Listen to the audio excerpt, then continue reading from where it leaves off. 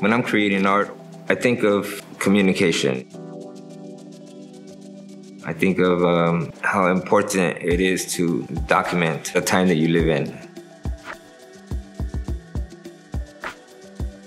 My name is Joe Reza, um, also known as Prime, and I'm from Los Angeles, California.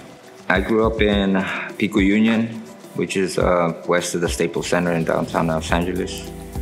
Writing's been a part of my life longer than the first time I saw graffiti. I was just, you know, mesmerized by the aesthetics of the design. It's, it's what intrigued me.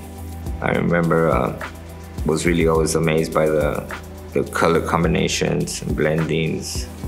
There wasn't that many people that were into graffiti in the earlier years. There was only a handful of people that were doing that. It always seemed like an art form to us. We took it serious and uh, find a way to somehow, you know, turn something that's negative at one point, but transform it into something positive. The type of graffiti I was doing was a, a cross between the East Coast coloring and the West Coast flavor to it, where over here we did a lot more um, cubic lettering as opposed to more bubble-ish, swervy letters that they did in, in, in East Coast. Letters do have a, a major part in most of the stuff that I do. This type of lettering that indigenous to Los Angeles, you know? I want to paint something with large, bold strokes of, of, uh, of ink and show a little calligraphy and Sometimes it's a more abstract design, so I gotta improvise and I'll use several brushes put together and just to get this large effect of a brush stroke. Usually what's going through my mind is uh, curiosity at times. I'm not sketching anything out. Sometimes it's a big uh, experiment. I go through some of these, uh, several of them, like paper after paper.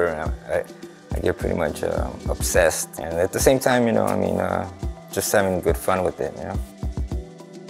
I started um, to mess more with the lettering that I did when I was younger, overlapping on it and crossing through it, you know I mean? You can see, I guess, like um, a bit of the graffiti kind of come through there. You know, it really like sort of represented like our freeway junction, you know? The colors would be like, like Little Tokyo and, you know, East LA or Hollywood, different sections of Los Angeles, you know? I sometimes will use Los Angeles or Southland just to sort of uh, be something universal. Different uh, ethnicities and different cultures and different um, accents. There's different ways of coming together. How does this exhibition relate to my art? The preservation of history, time. When I look at this artwork, some of the, the smaller Rolling Stones were really, really interesting to me because of the, the sheer size of them. I, I didn't really know that some of the pieces were actually so tiny. I don't know if they looked at them as art at the time. Perhaps they were just artifacts that they're recording this moment. Me, I'm, I'm trying to look for a place in the present history. Expressing something maybe to the community or personal, sometimes political. Most of the times, uh, you just want to announce to people that you're present in this time and and that uh, you exist. But Everybody likes to sort of leave some sort of mark on this planet.